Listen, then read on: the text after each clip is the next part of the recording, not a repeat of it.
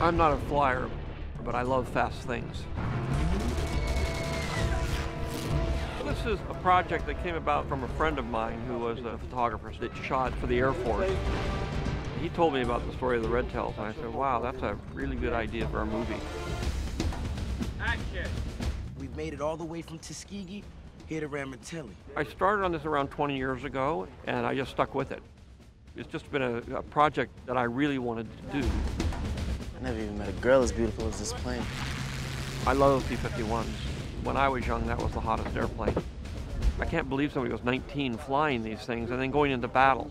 It's pretty stunning and amazing when you think about it. Junior! Where is he? Can't see him! Being able to bring this to reality, to be able to actually stand here with the P-51s, with the replication of Ramitelli, it's like the most exciting thing you can do.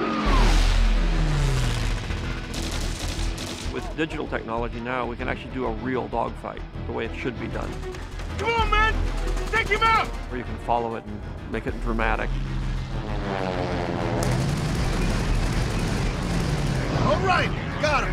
Oh, thank you, Lord. The struggle for African Americans to fight during World War II is part of the story. You can't tell the story without it. We have a right to fight for our country, the same as every other American.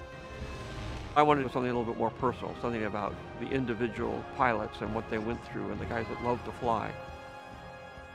A lot of people wanted to be involved in this project, so we were really lucky. You kept your word, man. How are you doing? It's turned out nice. We got a great, fantastic cast. I was a big fan of The Wire, and that's really how I decided to hire Anthony. I've done my 20 years now. I'm handing the ball off to you.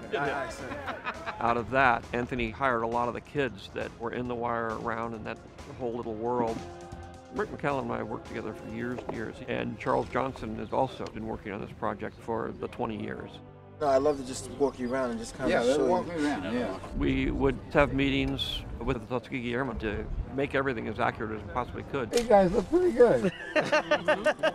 We've had a lot of sessions out of the ranch where we brought all the Tuskegee Airmen together and the cast together. And so they had these weekends and they'd all talk to each other and tell stories and do things so that the actors could get into the real guys and who they are. Did you feel the responsibility to be somebody to look up to for the kids back at home? We were the local rock stars of the black community. The story of the Tuskegee Airmen is a big story and it's an amazing story. Like Star Wars, it's a big action picture, lots of dogfights, lots of excitement, but it's basically about a bunch of kids that went through a, an amazing journey and uh, all came out heroes. To the last man, we fight! We fight! We fight! We fight! We fight! We fight! They're the, the, the knights of the contemporary age. And I'm hoping that this film is an inspiration to young people today. Red Tails is a celebration of life. It's a celebration of breaking down barriers. In celebrating the lives of the Tuskegee Airmen, we all have something to gain from it. Even in school, I didn't know who the Tuskegee Airmen were. The world needs to know the story. Rick McCallum and I went to sit and talk with the True History Boys. We got over there in January 45. Okay, so you were over there in time for Berlin. Oh, yeah. Understanding who they were really helped me to see who we should be really looking for in the cast. These stories are so few and far between. I wanted everyone to come in and have a shot and understand it wasn't just a job to come in and just act. What's happening? Oh, this is Bill Holloman. All right. We got a chance to get the Tuskegee Airmen and the cast together to spend time with them, to laugh with them. My mother came and cooked a meal. We're gonna sit down and eat a meal that's been blessed. It was like we were all at home in somebody's house. This was done by one of our Star Wars artists, and this guy does World War II art. This is amazing. It was huge. I came to the right place. They were able to talk to the cast firsthand and give them some pressure that you've met the heroes that you're portraying. You folks, I think, will represent us very, very well. I just can't wait to see you in flying jackets. I can't wait to see you in a P-51 because I teach you a few things. You can really see the camaraderie that the guys have. We've been friends for 60 plus years. It's still giving me trouble. And it's something that I stressed over and over and over in the beginning and why I, I was very strong about them doing the boot camp and thankfully Rick allowed us to do it. I I don't think any of them knew what they were getting into. Let's go, gentlemen! There were days that I would pass them when they were doing their drills and they were shooting me daggers. Like, I think they all wanted to take me in the woods somewhere and sacrifice me or something. Get me out of here. It's miserable. Messed up. I want to go home. The flight training and swimming pool tests and drills allowed them to really understand the camaraderie that they needed in the air. Come on, come on, come on! I didn't feel like anyone, even myself, understood what it was to pilot a plane. The Tuskegee Airmen were known for their record of losing the fewest bombers. I took the cast to an airfield so they understood the G-forces, knowing what it felt like to hang upside down, all the aerobatics.